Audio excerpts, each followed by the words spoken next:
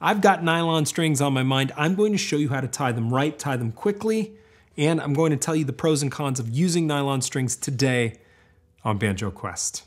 Okay, nylon strings. The strings I'm using in this video are the Aquila Reds. The reason why I like these Aquila Reds is because they allow me to tune up to G standard concert pitch and to double C.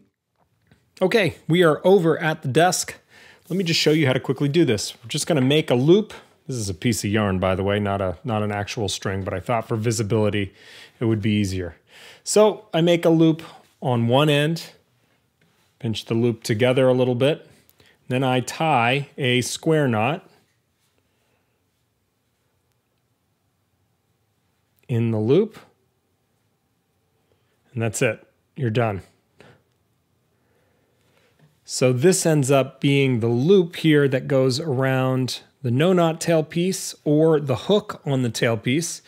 You'll have this little tail here and you can just, you can trim that with a pair of scissors or I use needle nose pliers to kind of crimp off this. What do I have here? Some craft scissors. Take that off the end and you're good to go. You put that around your tailpiece, tighten it up, and you're done. And this is what it looks like when it's all said and done. I'll trim that for you. I trim it, I leave a little bit of a tail there just in case. You can see it's not super accurate, but uh, it really gets the job done and it's a very quick way to get up and running with nylon strings. All right, so let's answer your second question. Why bother with nylon strings? Why not just stick to steel strings? They come out of the package with the loop, you smack them on the banjo and you're done. Been used for decades, right? Yes, steel strings are awesome. I love a set of steel strings on my instrument, especially if I'm playing up into A or D. But I'll tell you what, I'm not playing with many people these days. It's kind of solo around here because of the pandemic. So my ears have just sort of naturally gravitated towards these lower tunings, and boy, do these low tunings sound amazing with nylon strings. The other reason why you might want to try nylon strings on your banjo is if you're recording. I found steel string banjo to be incredibly difficult to record well. I've been recording it for decades now, and it's really tricky to get to sound right and full. I think that's the thing. Steel string banjos can often come across as either sharp or anemic, thin or brittle or ear stabby. It's hard to record the banjo because it's a mix between percussion and strings.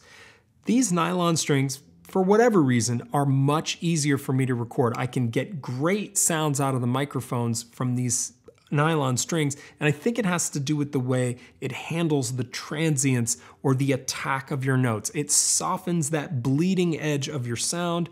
Microphones like that a little bit better. It's a little bit more friendly to recording equipment. So I find I get a much richer sound out of my recordings when I'm using nylon strings. All right, so we should just put nylon strings on every banjo in the world and it will be a better place. No, steel strings still have a place. They are incredible. I use steel all the time. Nylon strings have a lot of weaknesses. One of the weaknesses of nylon strings is that you can't get them tuned up very high. You either have to go with a short scale instrument or you need to buy the super high tension nylon strings, which I don't think sound great. They don't take the high tunings well unless you have a short neck. So if you want to play an A or D, eh, nylon strings are probably not the best bet for you. I'd go with steel instead.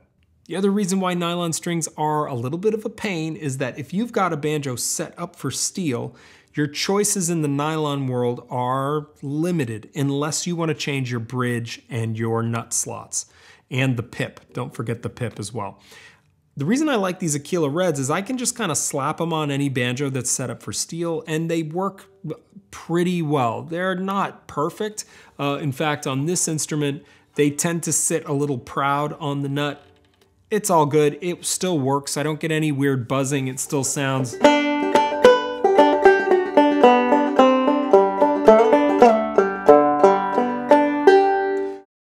give nylon strings a shot. Could open up some new tonal possibilities. I find I do different moves when I'm playing nylon strings than I do when I'm playing steel. And when I'm done playing nylon and I go to a steel strung banjo, The other added little benefit, at least for me, is that I feel like my touch is just a little bit lighter. Nylon strings demand just a slightly more finesse based approach to the instrument, and that really pays off when you go back to steel. I can kind of carry that technique building when I go back to my steel strum instruments. So give them a try. They're easy, they're cheap. Let me know how they sound. Let me know your experiences with nylon strings in the comments below, and I will see you next time on Banjo Quest.